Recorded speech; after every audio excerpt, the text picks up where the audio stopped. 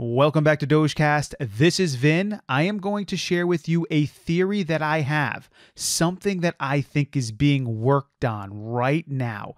And if it's true, it is going to cause Dogecoin to absolutely skyrocket. Now, I don't think this is imminent. I don't think it's something that's going to happen within the next few weeks or even next few months. But within the year, it's possible that some crazy news is going to come out. I'm going to share with you what I think that is.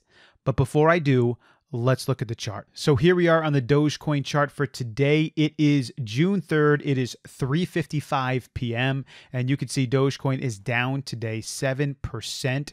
This is not a big deal. I don't know if you guys listen to any other podcasters or speakers about Dogecoin, but this is completely expected. In fact, if you heard my video from yesterday, I already said that I expected Dogecoin to come back down to around 37 or 38 cents. Matter of fact, I wrote down this number 0.37400. That is actually where I think Dogecoin belongs right now. And if Dogecoin falls at that level with Ethereum and Bitcoin remaining where they currently are, that would mean that Dogecoin would have gotten a 10% boost from the Coinbase Pro listing. And that would make absolute sense. I actually think Dogecoin's still a little higher than it should be, but I think it's higher than it should be because people are excited about it and they're investing in it. And as it's going down, people are reinvesting in it, but it wants to pull back down to that level, meaning it wants to consolidate. That's a healthy thing. Whenever you have an investment, you don't want it to be artificially inflated.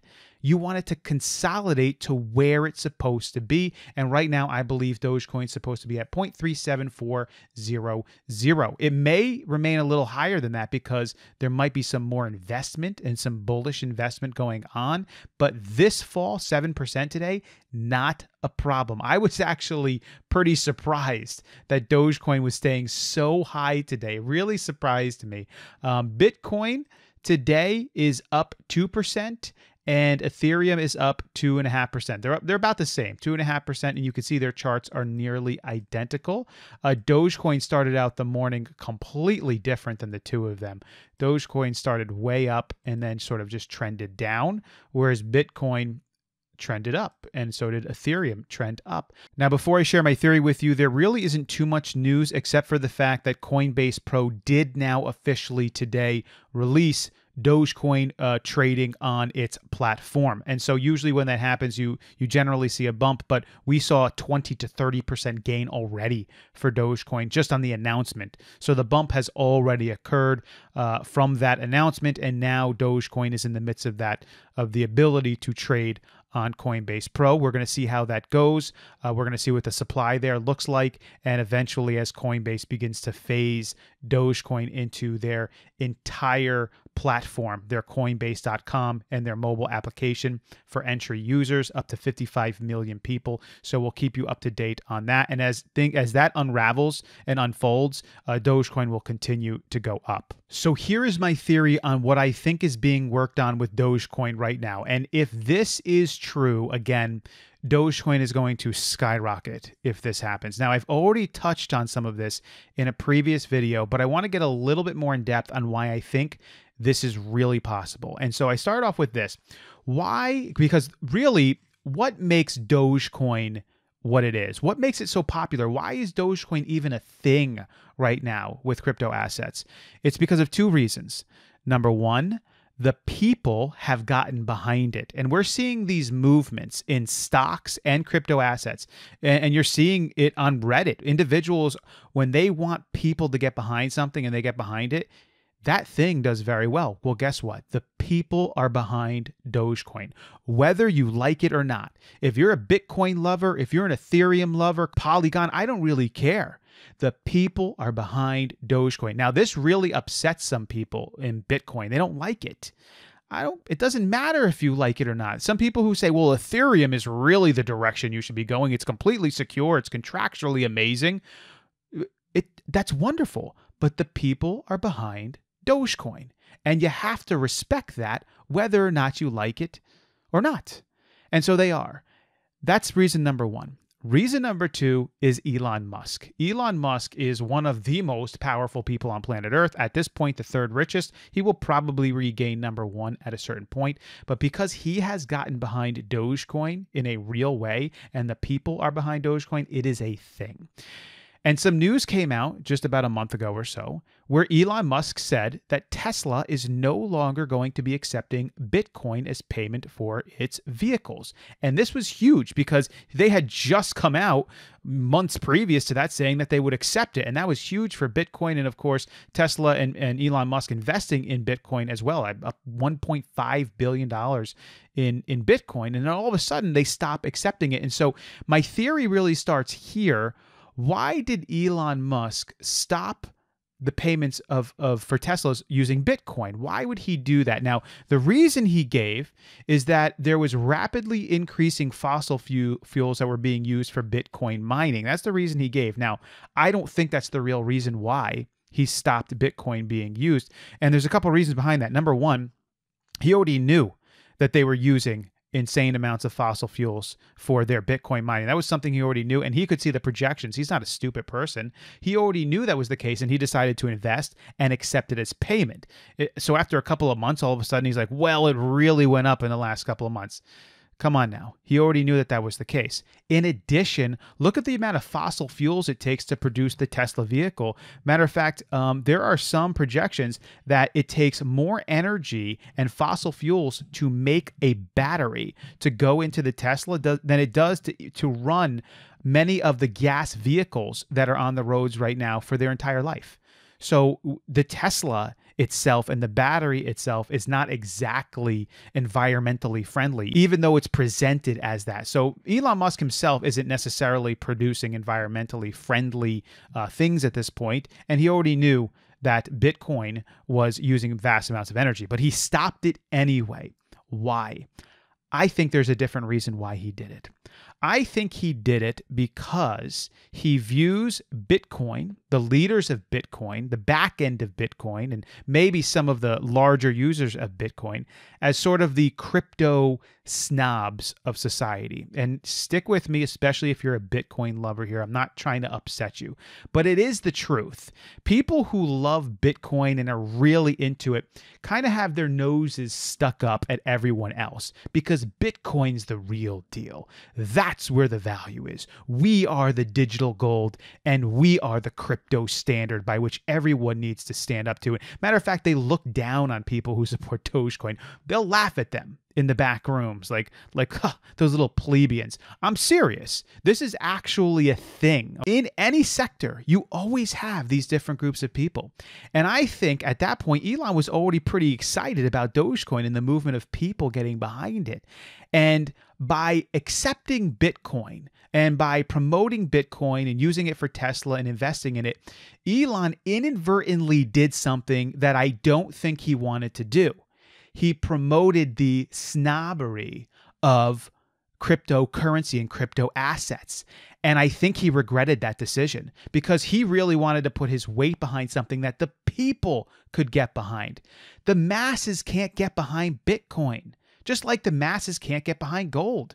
Not everyone's going to be able to get gold. We have a planet filled with 7 billion people. There's only so much gold to go around. Who gets the gold? The rich get the gold.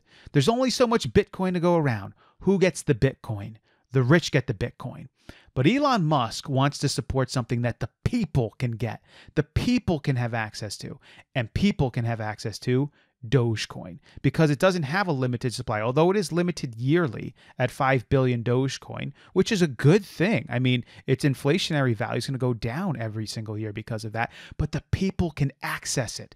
And he inadvertently supported the snobbery of crypto assets. Now, stick with me.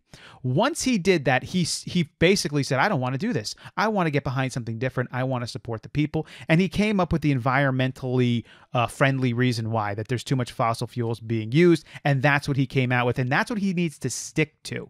But I do believe that Elon wants to come up with a solution to get Bitcoin back in because I do think that he realizes that Bitcoin is insanely valuable and it is legitimate. Nobody is claiming that Bitcoin's not legitimate. It is legitimate and it is the powerhouse when it comes to crypto assets. I completely agree with that. And I think Elon wants them back in, and I think he sees a huge future with Bitcoin. But he doesn't want to go against what he already said, which is this uh, carbon footprint and these increased fossil fuels that are being used for Bitcoin. But he also doesn't want to just support the snobbery, he wants to support the people. And I believe in the back end, that Elon is having conversations with the leaders and creators of Bitcoin and the creators of Dogecoin and other individuals that are involved in blockchains and securities. And what he is suggesting to them is something that we've already suggested on this channel, and this is news already that Bitcoin allow Dogecoin to piggyback off of its transactions. Now, before you tell me that that's impossible, it's not, first off, but let me tell you this. I understand that the creators of Bitcoin are not going to be excited about that premise because remember, they're the snobbery of crypto assets. And it would make complete sense that the snobbery of crypto assets do not want to affiliate themselves with the plebeians of their group. You know, they're the untouchables, literally. Dogecoin, untouchable. That's how they view them. And so Bitcoin creators are not going to want to affiliate themselves with that. But here's the thing there is some reasons why they might do it. And I believe that Elon is smart enough and has the people around him to convince the creators of Bitcoin because by doing this, Bitcoin will insanely strengthen its position. And so essentially, what will happen is this Bitcoin already uses an insane amount of energy for its operations. And essentially, the energy that it uses can be justified by allowing one blockchain to piggyback off of the security of another blockchain. In this case, Dogecoin piggybacking off of the transactions of Bitcoin, thereby increasing the security of Dogecoin and the legitimacy of Dogecoin. So, this would be huge for Dogecoin. Essentially, if Bitcoin did this, teamed up here, uh, Bitcoin would become digital gold and Dogecoin would become the digital currency, and then you'd have some outline players. Now, I don't think Bitcoin, if they did this, they would only do it for Dogecoin. I think they would do it for other blockchains as well. But what this would do is it would diversify uh, Bitcoin's function. Not only does it become the digital gold, but it gains an additional function as an entity to allow other crypto assets to piggyback off of its security and its transactions. This would make Bitcoin so much more valuable because not only is it now going to be valuable in and of itself as digital gold, but gaining this other purpose, it's going to become insanely valuable as it supports other digital assets, meaning Bitcoin is going to be completely necessary for the functioning of Dogecoin. And Bitcoin is going to be completely necessary for the functioning of another crypto asset. It might even have 10 other crypto assets that it supports, and Bitcoin becomes insanely powerful because of this. Now, before you tell me that Bitcoin won't do this, I believe that those creators can be convinced that this is an opportunity for them to not only secure their position, solidify their position, but become and they are a powerhouse, but just blow up as a powerhouse. And if Bitcoin doesn't do this, there may be another blockchain or crypto asset that will try to secure that type of position as adding and piggybacking others to their transactions to give them a little bit more security. In addition, this is going to justify the energy output of Bitcoin, and companies like Tesla and others will now accept them again. I believe there are active talks in the back end about this. I am not as privy as the individuals who work on these systems. So, although this makes sense to me that this could work, it, it, makes sense theoretically that it could work. There could be people that could say, practically, I get what you're saying, but practically this doesn't work. But it may. There may be people in the back end who realize this actually can work. And I think this will solve all of the problems. It's going to solve Bitcoin's energy use problem. It's going to solve Bitcoin's one use problem, and it now becomes a multifunction um, operation. It's going to solve Dogecoin and other crypto assets problems. It's going to bring more legitimacy to crypto assets in entire its in entirety. It's also going to solve Elon Musk's problem because he said he won't support anything that's uh, using that type of a carbon footprint, and it becomes this solve all for all this entire uh, entity that is crypto assets. I don't know if it's going to exactly work the way that I'm saying it, but I believe there are talks of this. And I don't think we're weeks away from this. I think we are maybe a year away from this because this stuff takes time. And of course, they might be saying, well, we need to see a little bit more out of Dogecoin first, you know, because we don't really, we're, you know, the snobs. We don't really want to do this yet, but we get it. We understand what you're saying and we get it. Now, I think that that uh, Bitcoin's going to try to leverage its position as much as possible. You know, they're not going to just team up with Dogecoin. That's not what they're going to do. They're going to leverage their position as the player if this happens. And Dogecoin's just going to be one of many. But that's okay because the people are behind Dogecoin. So I'm fine with that. I think they're going to want to see how Dogecoin does, especially with Coinbase and just seeing if things level off and seeing how things go. And then I think as they figure out the solutions that they need to put in place in order for this to happen, this is a possible outcome. Now, I'm going to place this outcome at maybe 10% right now. I'm not saying that this is definite. I'm not saying this is 100% going to occur, but I see it solving a ton of problems. I see it I see it nicely wrapping up all of the issues that are out there right now. Issues that Elon Musk is having that I think initially caused him to stop using Bitcoin and issues that Bitcoin's going to have in the future and issues that Dogecoin has and the entirety of uh, this sector. It does so much. So, if you could comment below and tell me if I'm absolutely crazy or if I'm way off, let me know. If you think, you know what, I think, I think you might have something here. Um, let me know that as well. And so I would like you to leave a comment below if that is you. But I really am excited about it because if this news comes out, whew, one dollar, forget one dollar for uh, Dogecoin. You're gonna have this coin is gonna go crazy. I mean, it's just gonna become something completely different. Let's go back to the chart. Let's see what happened in the last 10 minutes. Here we are back on Dogecoin. It is down 6.7%, so it went up slightly. All right, there it is. This is the last hour, so it went up slightly in the last hour. Um, again, people are just uh, excited about Dogecoin right now. I, what is the rest of the market coming back up?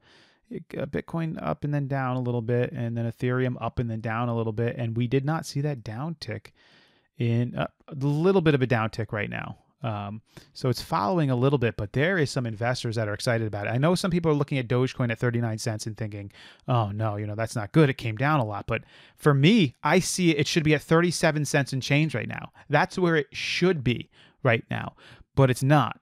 So a lot of investors are holding this up right now. So uh, all good things. I'm excited to continue to talk about Dogecoin. I see a really good future here. If you've already invested in it, congratulations. Most of you got in at like between 29 and 33 cents. So everyone is making money right now. If you listened to me uh, back when we first introduced this, and I wanted to do Dogecoin a while ago, but I just didn't. I started investing in it a while ago, but um, kind of waited for the stimulus stuff to die down before I jumped into this. So uh, but now that we're into it and I, I, recommended it, everybody should be up in their money unless you got in after I suggested it. If you got in at the 40 cent range or 41 or something like that, uh, it's down a little bit. But don't worry, uh, it might settle down into the 37 cent range. Sometimes when it settles down, it goes below the, the settling point to the 36 and then it kind of comes back up.